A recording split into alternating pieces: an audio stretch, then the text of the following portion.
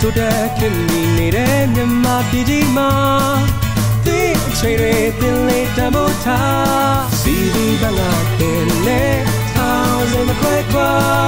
ဒီအလုံးနဲ့အနည်းဆုံးမှာပါ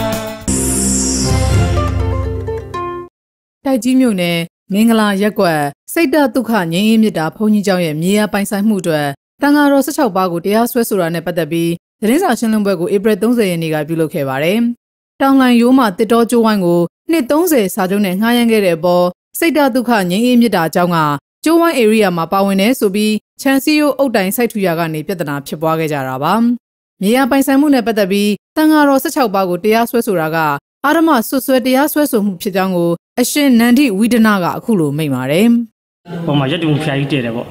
တည်စဉ်ကလည်းပဲတိုင်းတန်ခါနယ်ကမြို့နယ်တန်ခါနယ်ကဆရာတော်ဖျားကြီးရဲ့ခွင့်ပြုချက် ဟောရတဲ့ညီအလုံးတကာများစုပြီးတော့အုတ်မြချတယ်ဖျားကြီး၃နှစ်ကြာခဲ့ပါတယ်ပေါ့နောက်တစ်နှစ်လောက်မှဒီဒေါက်တာသန်းစင်တို့လာပြီးတော့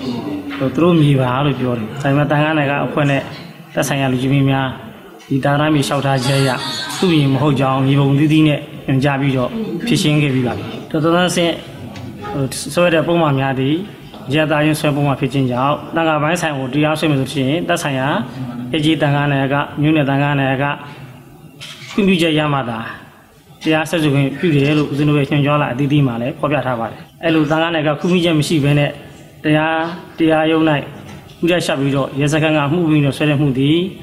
ဦးဇင်းတို့ရဲ့တရားကျင့်ထုံးဥပဒေနဲ့မင်ကြီးဘဲနဲ့အဓမ္မဆွဆွဲတရားဆွဲဆိုမှုလို့တန်ခါများခေါင်းအားလုံးကိုစားဦးဇင်းတန်ခါနယ်ကဥက္ကဋ္ဌတော်ကနေဖြစ်သုံးသက်ပါတယ်ဒီတစ်ထိတစ်ခါအမှုထားလို့နေလို့ဒီမြေတိုင်းနဲ့တစ်တော်တော့အိုကြီးဦးမင်းလွင်မေးဘူးတယ်ဟိုထက်ကနေပြီးတော့ သူသုံးလေးတစ်ခါပေါ့ပြန်စစ်ဆေးရတယ်စစ်ဆေးတော့မယ်ဆိုရင်သူမဆိုင်ထားခြင်းရောက်အမှုထားဆင်လိုက်တယ်ပေါ့မီးရှို့ပါတယ်ဘုန်းကြီးတွေပြဿနာတက်နေပါတယ်ဘုန်းကြီးဖြက်စီးလိုက်ပါတယ်ဆိုပြီးအဲ့လိုအကွက်ထဆင်ပြီးတော့တစ်တော်ကလည်းစစ်တာကိုစစ်စစ်ပြတ်သွားအောင်ဆိုပြီးတော့လုံးကြံပြီးတော့သူကဒါတစ်တော်တော့အိုကြီးဦးမင်းလွင်ကိုယ်တိုင်ဦးစင်းလုံခဲ့တဲ့တလားလောက်မှပြောတာလား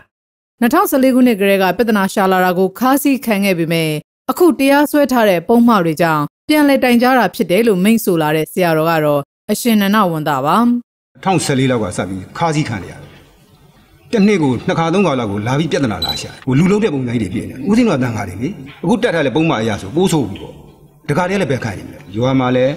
အိမ်လေး22လုံးတော့ဖျက်ခံရတယ်။ဒါရွာသူရွာသားတွေလည်းမခံမရနိုင်ဖြစ်နေတယ်။အဲဦးစင်းတို့ရွာသူရွာသားတွေဒီအိမ်လေး20 22လုံးဖျက်တဲ့ကိစ္စနဲ့ပတ်သက်ပြီးပြန်တော့တခါကျောင်းဘက်ကိုလှည့်လာတယ်။ကျောင်းကြီးမြေကိုလာပြီးလူပြန်တယ်။ခြံစည်းရိုးတွေလာဝင်ခတ်တယ်။ဦးစင်းတို့ကထွက်ပေါက်ကိုမရှိတော့ဘူး။ဆုံးကမှုထွက်ပေါက်တော့မရှိတော့ဘူး။ ဒကာတယောက်အနေနဲ့တန်ဃာတော်ကိုတရားစွဲဆိုထားတာနဲ့ပတ်သက်ပြီးမတရားဆွဆွဲတာကြောင့်ဒေါ်တန်းတန်းစင့်တဲ့အတူဆောင်ရွက်သူတွေကိုပြန်ပြီးတရားစွဲမယ်လို့ပြောလာသူကဦးကျော်ဝင်းပါတော်တန်းစင်မြင်နဲ့ပတ်သက်လို့ကျွန်တော်တို့ကြေးပါကိုကျွန်တော်တို့မရှိခင်မှာသူရဲ့စစ်တပ်အင်အားနဲ့လာပြီးတော့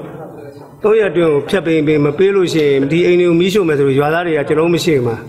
ကြောက်ပြီးတော့ဖျက်ပေးရတယ်ကျွန်တော်တို့လည်းပြန်လဲရောက်လာအခါခီးသွားပြောင်းတဲ့အခါလဲကြာကြောင်မေးတော့မီးရှို့မယ်ဆိုလို့လူကြီးတွေကလည်းမရှိလို့ကျွန်တော်တို့ကြောက်ပြီးတော့ ရွှေ့လိုက်ရပဲဆိုတော့သူတို့ဒီ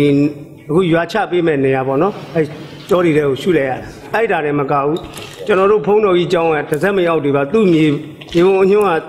သူ့မြေပါပါလေဆိုပြီးလာကျောင်းမှာလာပြီးစီယိုလာခတ်လို့အဲ့အချိန်မှာရွာသူရွာသားတွေအိုတန်ဃာတွေနဲ့အော်တောင်းချင်းတွေဖြစ်ပြီးတော့ကျွန်တော်တို့ရွာလူကြီးတွေနဲ့ထိတ်ပြီးတော့အရှင်ဘုရားတို့တပည့်တော်တို့ရှင်းပါမယ်ဆိုပြီးတော့လိုက်ရှင်းတဲ့အခါမှာအုတ်ချုပ်မှုခေါ်ပြီးတော့ဒီချံကိုဖွင့်ပေးပါဆိုတော့ အဲကျိုးစူးကျိုးတွေဖြုတ်ပြီးတော့ပြန်ဖွင့်လူပုတ်ကိုဆွဲသလိုမတော်မတရားတွေလောက်ကြံပြီးဆွဲထားတဲ့အတွက်